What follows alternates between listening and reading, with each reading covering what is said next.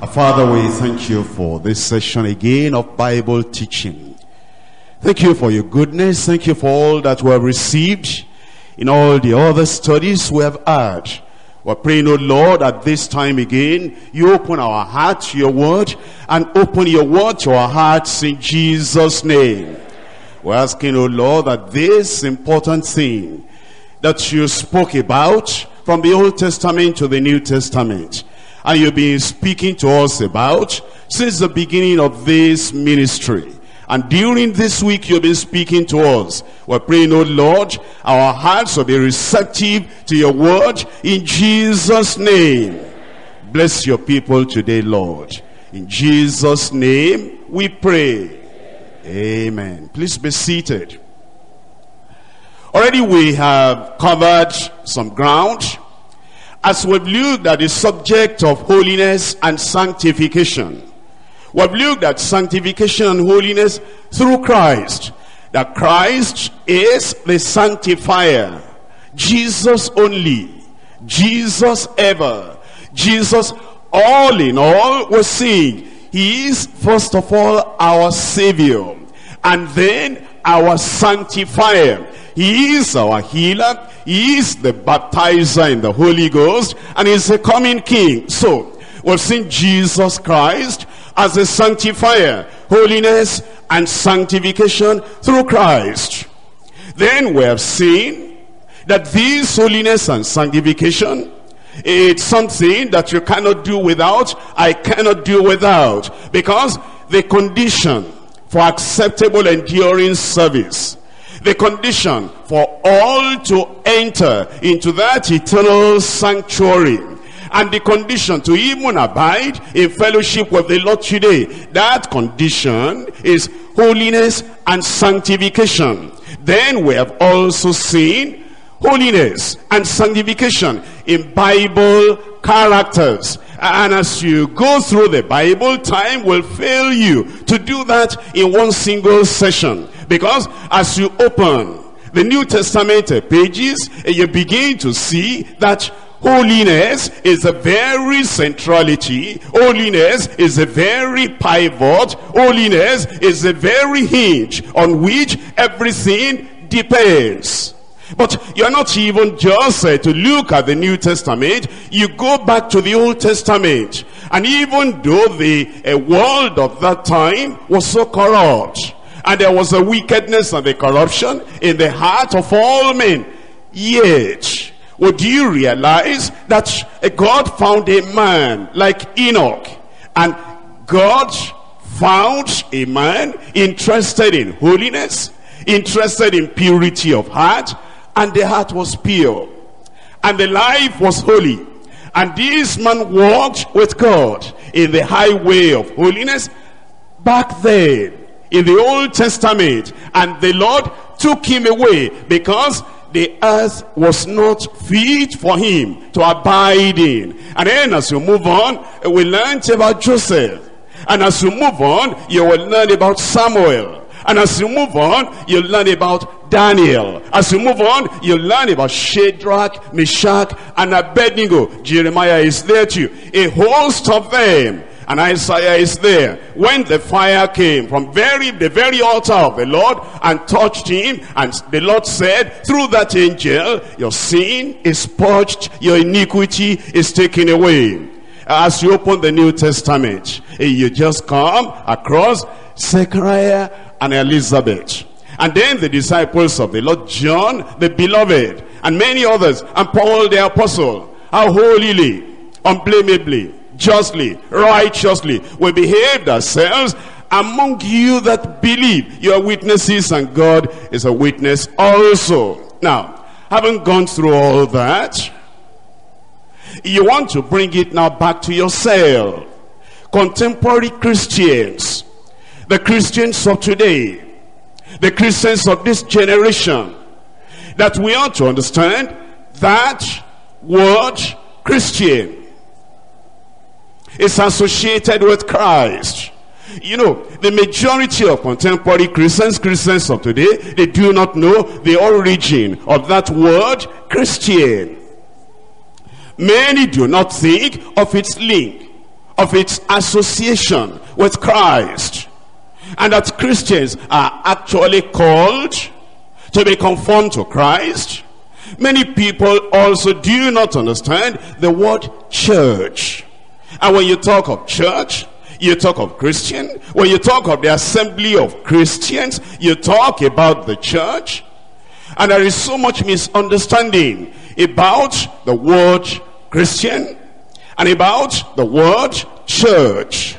That word church, for many, many people that carry the Bible, for many, many people that name the name of Christ, for many, many people that belong to one denomination or the other, that word church has lost its meaning and significance to most people. In almost all assemblies and gatherings and congregations, the church is a place you go to socialize it's a place you go to be entertained. It's a place you go to relax. It's a place you go for some other people, charismatics and Pentecostals, to be blessed and to be healed. A place you go to solve problems of all kinds. The point is this. The average fellow that goes by the name Christian, the average fellow that professes to belong to a particular gathering fellowship or assembly called church does not have the faintest idea of what the Bible teaches concerning who a Christian is, concerning what the church is. Very, very few know that the church is the assembly of those who are saved from sin. The assembly of those who are called out to be separate from the world. The congregation of those who are called and giving grace to live in righteousness and holiness to the glory of God. But you know, Eh, the, early believers, eh, they didn't have that kind of ignorance that many people have today. In Acts of the Apostles, chapter 11. Acts of the Apostles, chapter 11, verse 26. And when he had found him, he brought him unto Antioch. And it came to pass that a whole year they assembled themselves with the church and taught much people. And the disciples were called Christians first in Antioch. Uh, there you have the mention of the word church. And there you have gathering together. There you have the concept of congregation. There you have the concept of an assembly. And there you have uh, the, the, the primary thing, the pivotal thing, the essential thing, the non-negotiable you must find in a church. They came together and taught much people. Do you know that there are people that feel if they go to an assembly of worshippers, if there is no dancing, and moving the hand, and moving the leg, and moving the body, they say, what kind of church is this? This is no church. My friend, dancing was not part of the item in the program of worship in the Bible. Other people if they don't find this or that, they will feel that, what kind of church is this? This is not complete. In the Antioch church, where the first called the worshippers, Christians, the very center of what we find in that assembly is the teaching of the word of God. And thank God, the people that did the teaching, eh, they were not just ordinary people. If you look at the previous verses, you'll see Barnabas there. And you'll see Saul there, Paul. Those two people, they gathered with the church.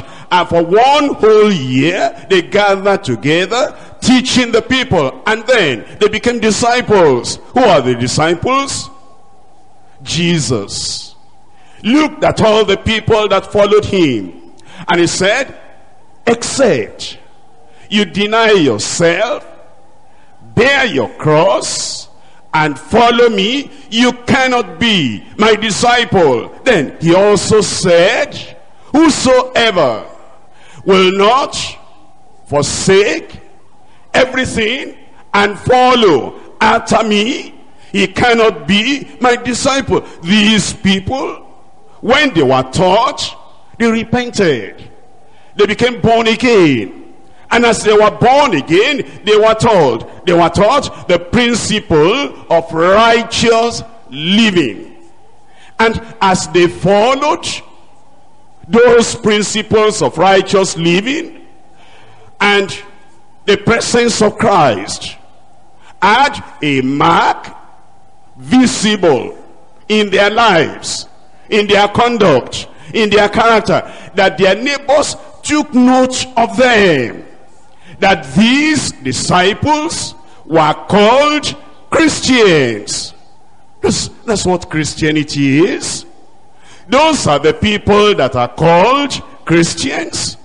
And so, as you see the appearance of that word, you understand that when we talk about contemporary Christians, if they are going to be like Bible Christians, holiness and sanctification will be the very center of their life and lifestyle. Then in Acts chapter 26, Acts chapter 26, verse 28 and verse 29, then Agrippa said unto Paul, almost thou persuadest me to be a Christian. Here, in what um, Agrippa said, we understand that you do not just get born somewhere, then get educated, get refined, and because of that kind of civilization you have, education you have, the position you have, the moral thing you have, to be an emperor or to be a king or to be a leader, that because of that, you are a Christian already. Almost. Thou persuadest me. It takes an evangelist coming with the evangel coming with the gospel. And then he comes to a group of people and persuasive preaching, knowing the terror of God. We persuade men. It's when these evangelists come, they come with the evangel, they come with the gospel and by the persuasive pretense presentation of the word of the Lord, talking about the Savior unto the sinners, they are persuaded to come to the Lord, and when they totally yield to the Lord, that's how they become Christians. And as we're here gathered, as an assembly of preachers and ministers of the gospel, would you understand that we have been given the evangel, we have been given the gospel to go into all the world. And with persuasive, pungent, penetrating preaching, you talk to the hearts of men until they are persuaded that they are in the wrong they are persuaded they cannot save themselves. They are persuaded that there is salvation only in Christ. They are persuaded that except ye repent, ye shall likewise perish. They are persuaded that Christ is the only way of salvation. Look unto me, all ye the ends of the earth, and be ye saved. And they actually come to the Lord and they became and they become born again and their lives are transformed agrippa said i'm not there yet i've listened to you paul i'm not there yet I'm considering some notions in my mind, in my heart, I'm not there yet. Almost. That persuades me to be a Christian. Now understand, who is a Christian? In verse 28, verse 29, and Paul said, I would to God that not only thou, but also all that hear me this day were both almost and altogether such as I am, except these bonds. That's Christianity. Paul, the apostle, in that verse, he tells us who a Christian is. He said, Agrippa, you know what? This is my desire. This is my goal. This is my wish. This is what I will even, if I were to be cut off from Christ, that Israel might be saved. This is what I want. I would to God that not only you, but all that hear me will be, will be almost and altogether such as I am. As a Christian, such as I am. What does that mean? I hated Christ before, I love him now. I persecuted the church before, now I preach to the church. I was running away from the Lord before. I'm running towards the Lord now that I may know him and the power of his resurrection. And I did everything I could to hinder other people to know the Lord. Now, it's the opposite. I help all I can to know the Lord. There is a change in my life, he said. And if any man be in Christ, he is a new creature. Old things are passed away. Old habits are passed away. Old ideas and notions and philosophies are passed away. And behold, all is become new. I would, Agrippa, that not only you, but all that hear me this day will not just be almost a Christian, but almost and altogether such as I am, as I have believed that they believe as I'm following Christ, that they follow Christ. As I'm consecrated, like that they are consecrated. As I'm willing to do the will of God, every jot of it. As I'm willing to do the will of God with all my heart, with all my soul, leaving nothing behind, I would that everybody will be almost and altogether such as I am.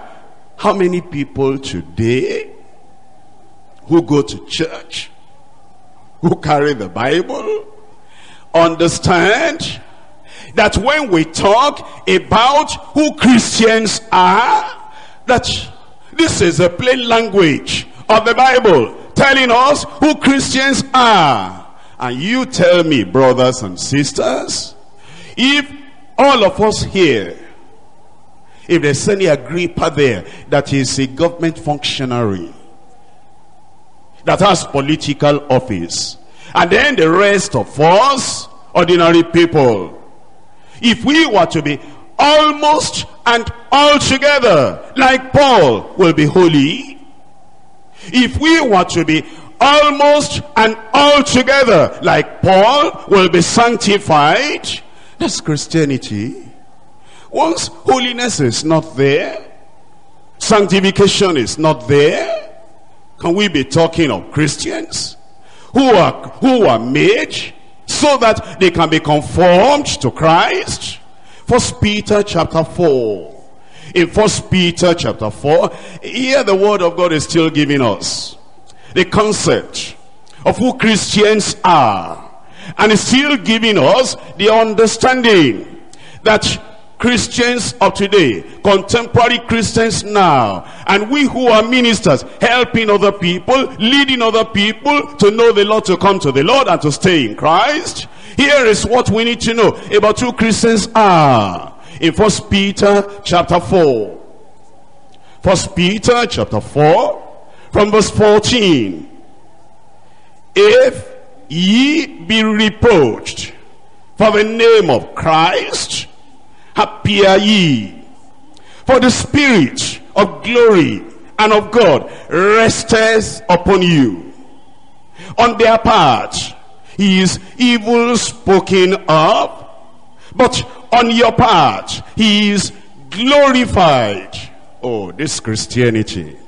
He said, you, you people here, reading this epistle, and you are partakers of the like precious faith, if you are persecuted, reproached, insulted, abused, misused, denied,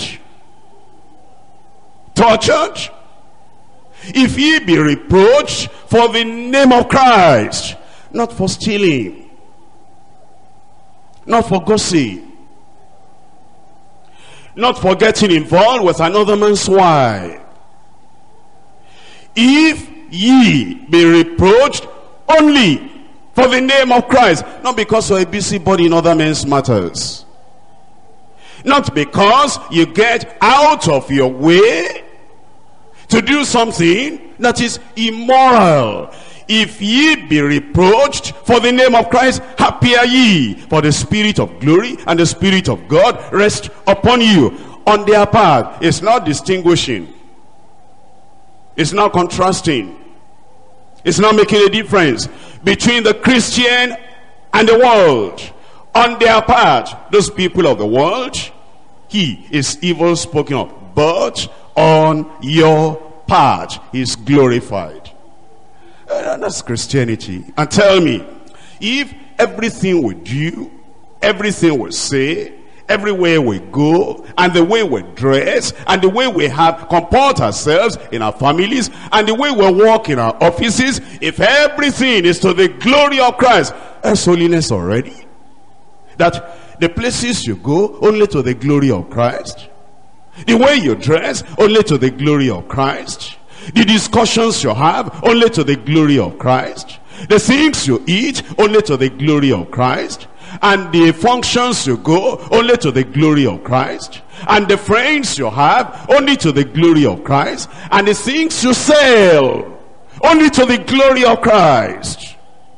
Show me the Christian that is selling what the sinners are using to commit immorality so that they will not catch AIDS. And you are the one that will store all those things.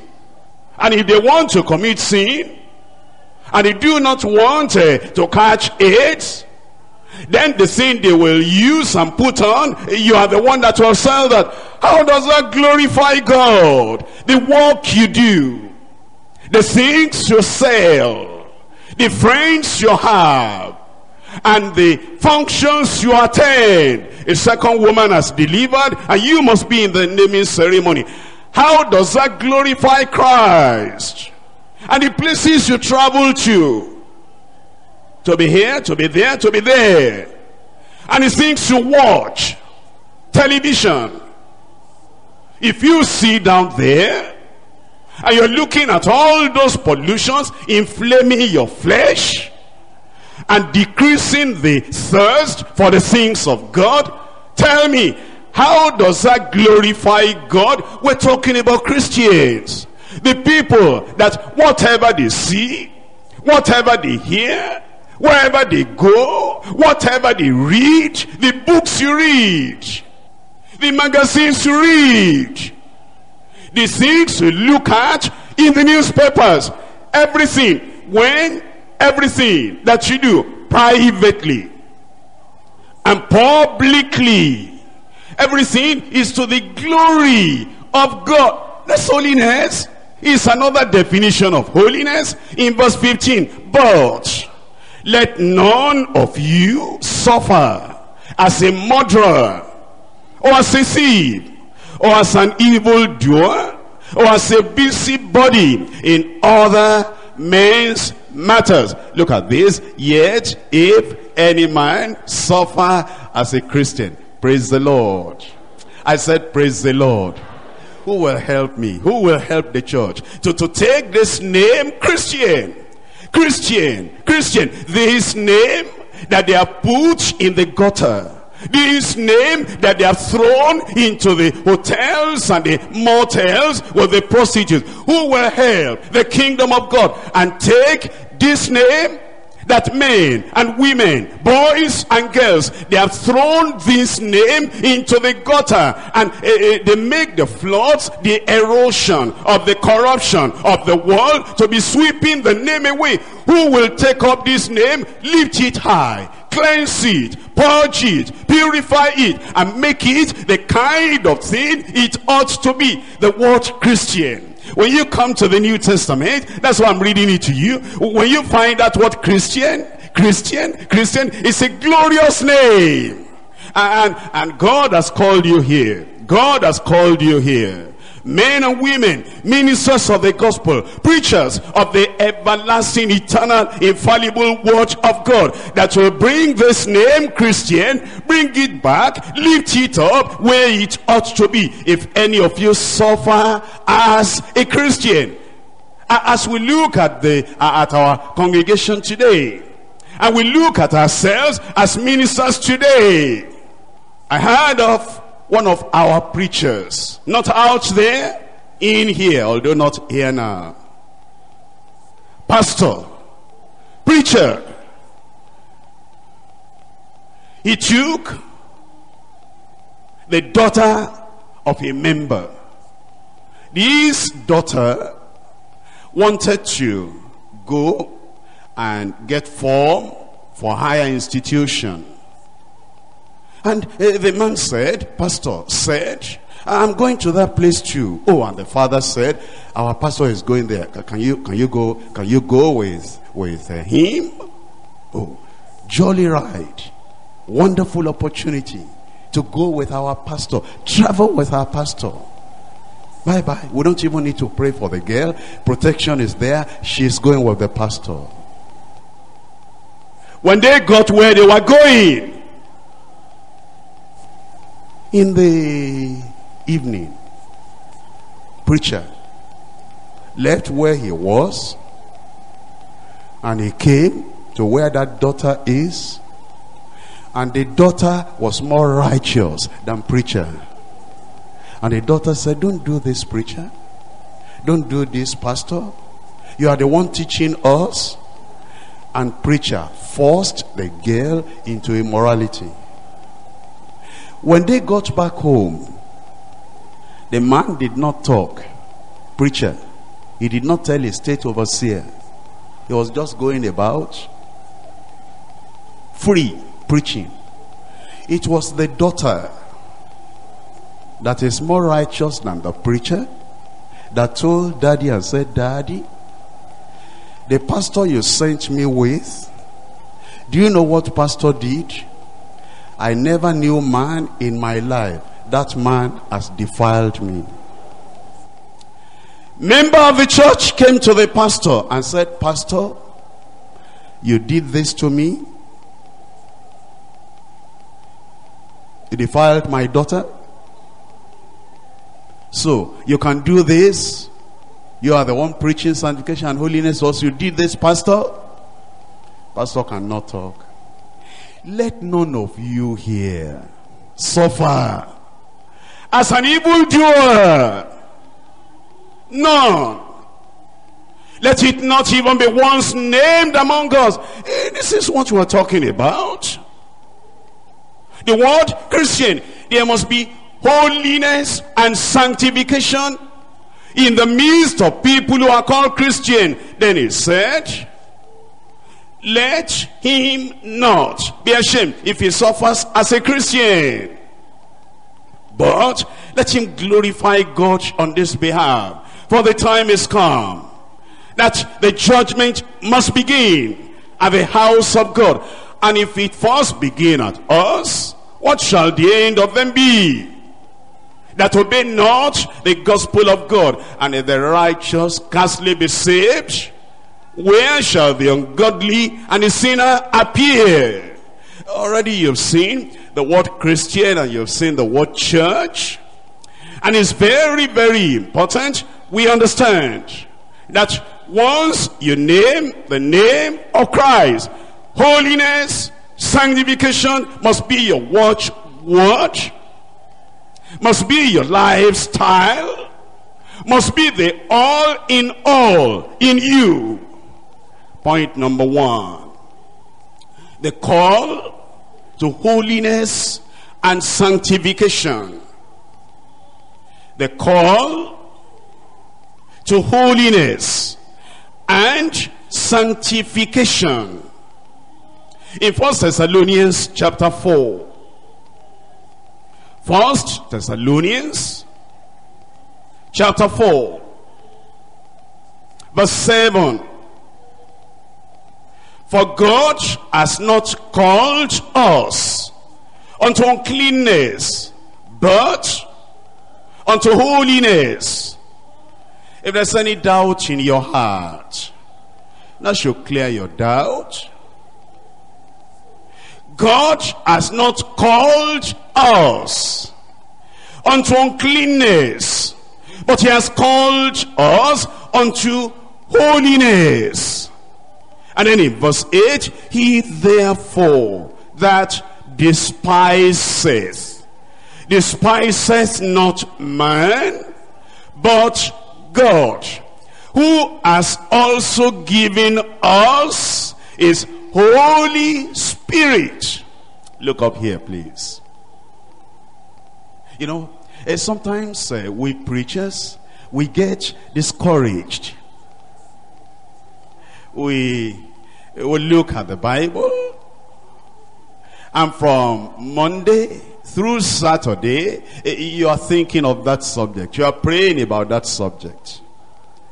And you take your concordance and fish out all the relevant verses. And you take the Bible dictionary and you look at the meanings of some words that you need to put in.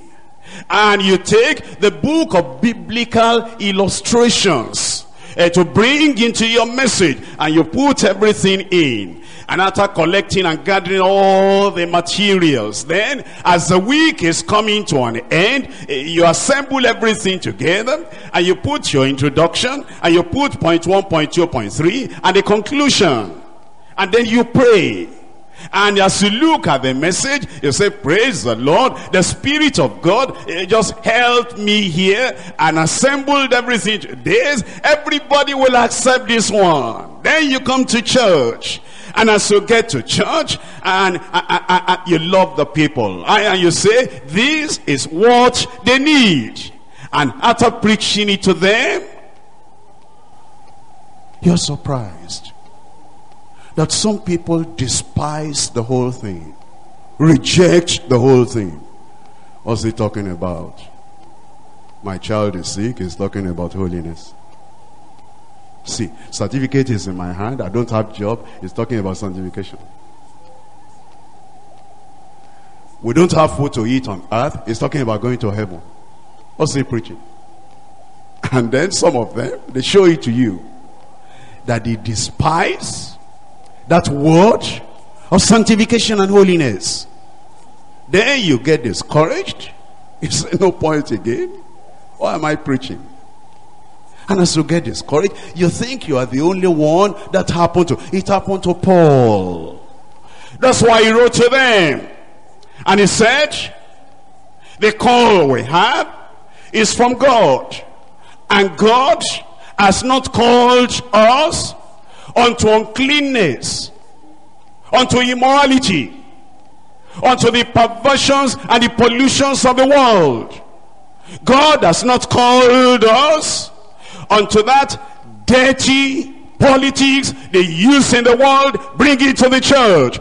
God has not called us unto uncleanness, but he has called us unto holiness. And then he says,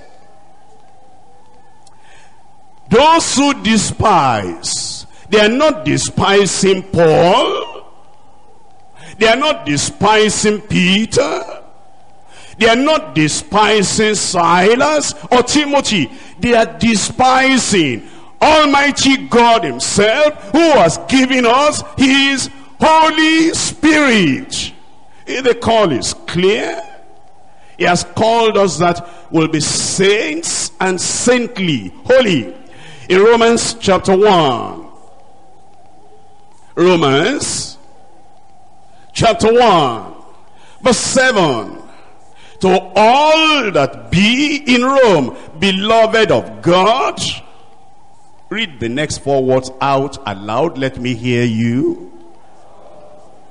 Called to be sinners. Called to be compromisers. Uh, uh, see the word of God. Called to be saints. Saints the people that are holy and saintly. That is a calling that the Lord himself has given us. We are called to holiness. Uh, can you think of that as strange? Is it an unexpected call? Is it not normal? Is it not something to be expected that a holy God will call his children to holiness?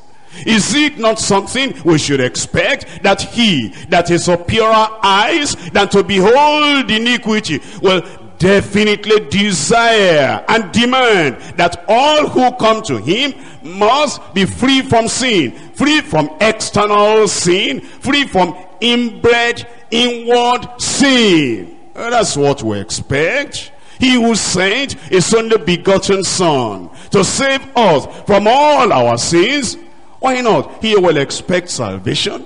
He will call us to salvation. For his name shall be called Jesus.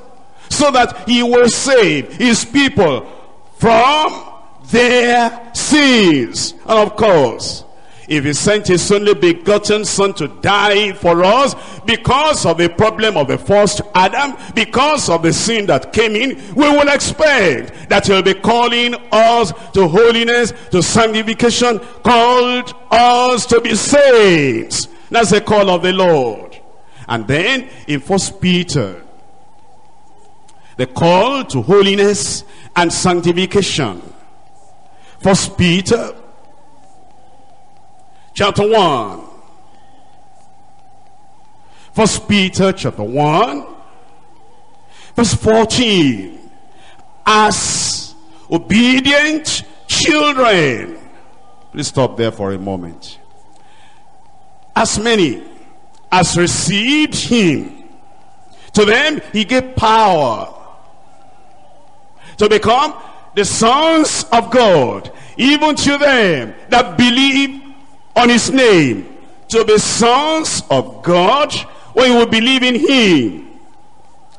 Come ye out from among them and be separate, says the Lord, and I will receive you and will be a father unto you, and ye shall be my sons and daughters, says the Lord.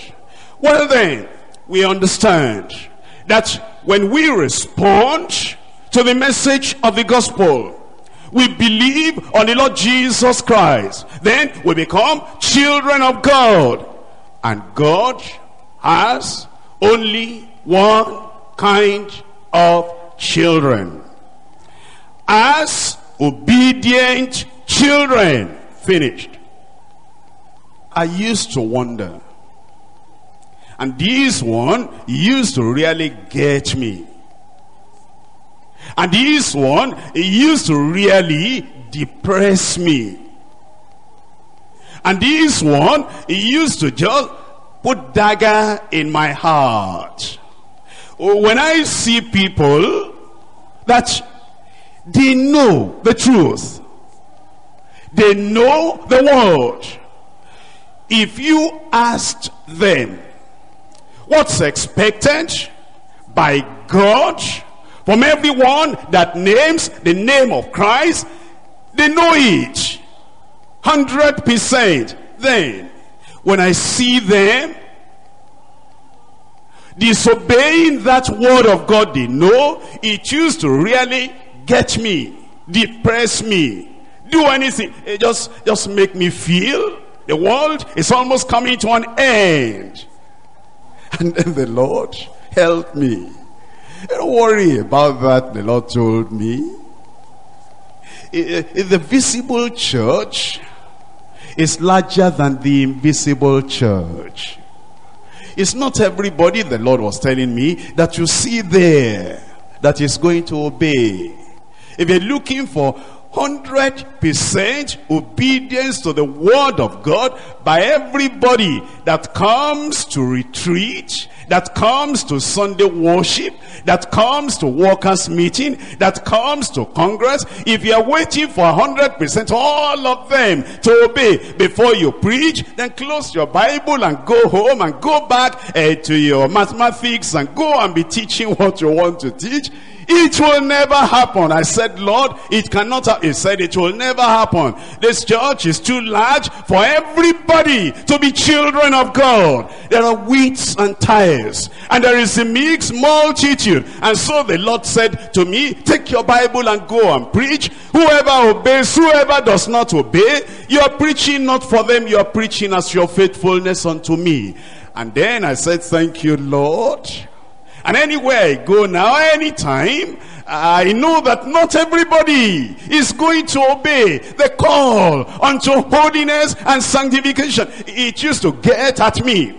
If, if, I, if I preach a message and uh, you know I talk on the holiness. I dig deep into the word of God. And then I look up high into the heavens and I describe the rapture. And I describe heaven. And I describe the qualification to get there. And I almost will be seeing the uh, saints of God marching in. And I tell them and the people pray and pray 10 minutes after that when the service ends. If I saw anyone that uh, you know acted like like the old, old, old fellow. It used to get me. It used to just, you know, just smash me that see all the heaven you spoke about all the holiness you spoke about look at this and then i used to be so dejected and so unhappy why is this then the lord helped me that jesus jesus he himself he spoke about heaven not everybody that heard him accepted to go in the way to heaven relax and preach whoever wants to get it will get it. Whoever does not want to get it, leave them in my hands. I said, thank you, Lord. Thank you, Lord. And since that time now, I preach it to you. You throw it back to me. I say, praise the Lord. That's what the Lord was telling me the other day. And then those who obey, those who obey, those are the children of God as obedient children. There's no other kind of children of God in the kingdom of God. Only those who make up their minds. They are going to obey the Lord. They are going to follow the Lord. They're going to keep themselves totally submissive, subjected to the word of God. Every judge, every teacher, everything in the word of God is saying, Lord, I know why I came to Christ. I know why I came to this church.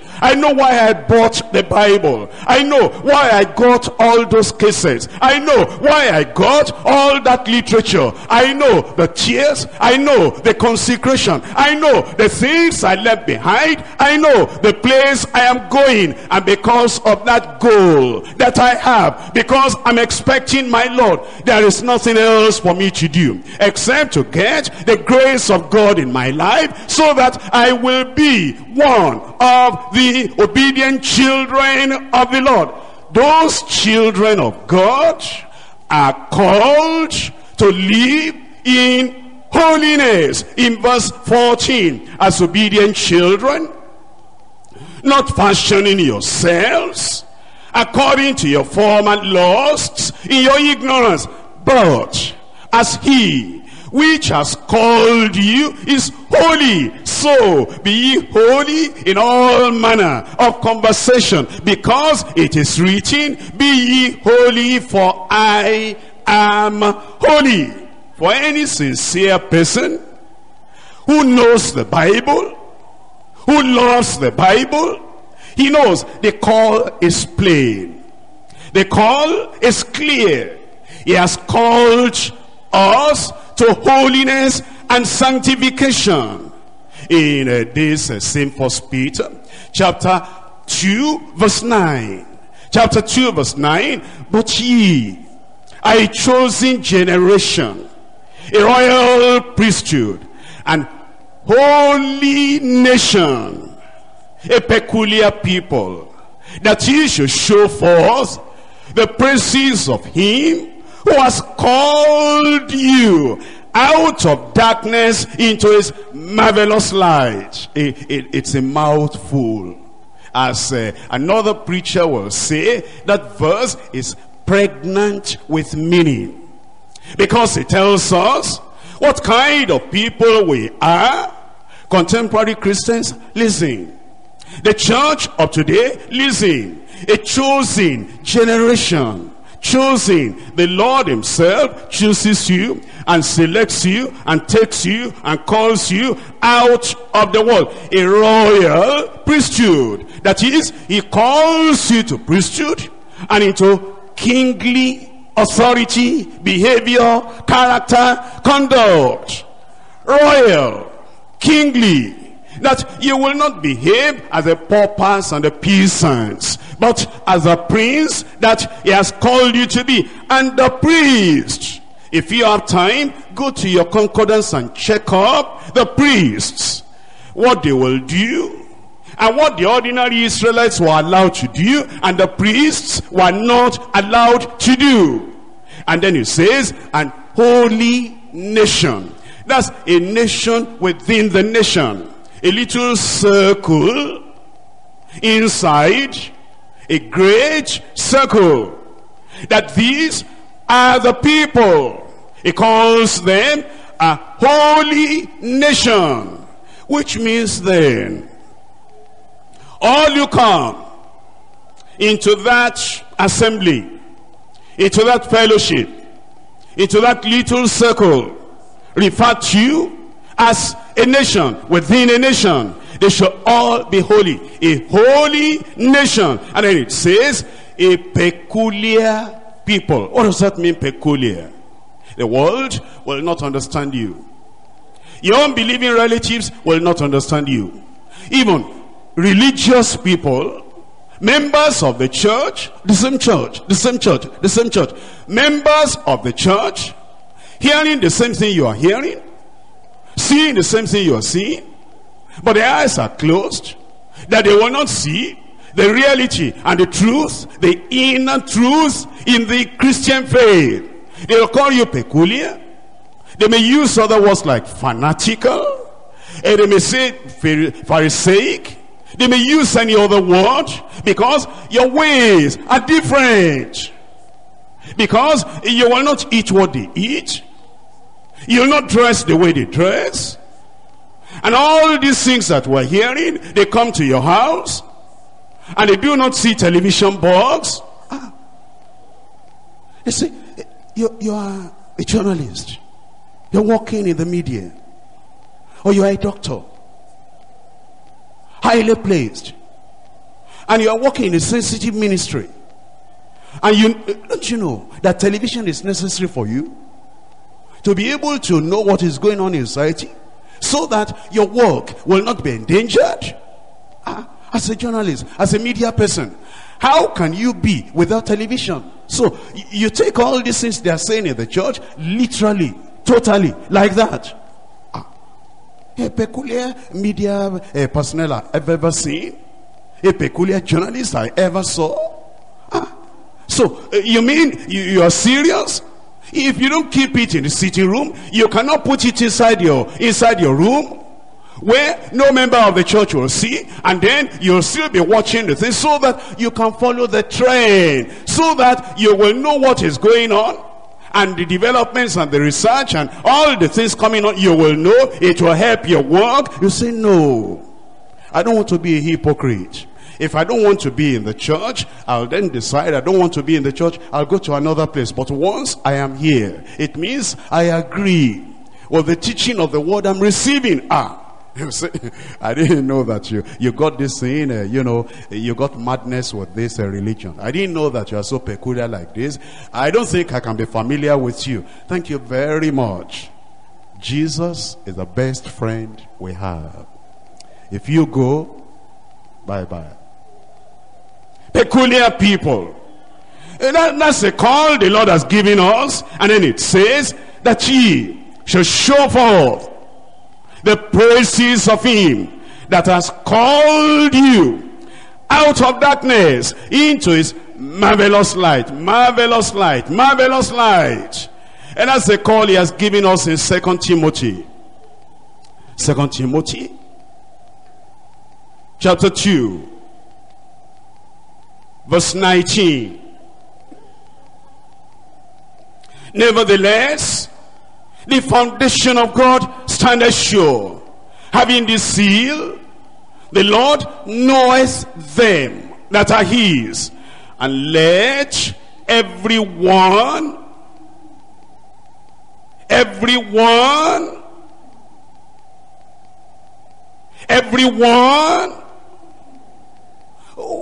why do you isolate yourself? Why do you separate yourself? Are we not hearing the same word? Is it not the same call God has given to everybody? Is it not a privilege for you? How many people there are there in some religious places where there is no salvation? They have not seen the light. They're educated. The university people who are in the Jehovah's Witnesses and their eyes have not been opened. The university people in the white garment churches and even though they are university people, lecturers, senior lecturers and professors, they walk barefooted and put the white garment on and drink the dirty water they give them to drink. They are professors, their eyes were not opened. And God favored you. More than those people. They are more educated than we are. And he brought you in because of his love for you. And then as it brings you in, you don't appreciate this privilege the Lord has given you that the eyes of the other people are blinded. But he has opened your eyes. And when you come in, you should be eternally grateful. What others who are better than us have not got, we have got. And then if you are grateful, Everyone, everyone, everyone that names the name of Christ, depart from iniquity. Then it says in verse 21. Let me read verse 20. But in a great house, there are not only vessels of gold and vessels of silver, but also of wood and of earth, and some to honor and some to dishonor. I told you already. Uh, those are the things that the Lord used to help me. To get me out of being sad every day. The Lord has now revealed to me. I knew it in the pages of the Bible before. But now I know it in reality. That in a great house. Are not only vessels of honor. Are vessels of dishonor. But you shouldn't be a vessel of dishonor. See, the knowledge the Lord has given you, the privilege the Lord has given you. See, the desires in the heart the Lord has given you.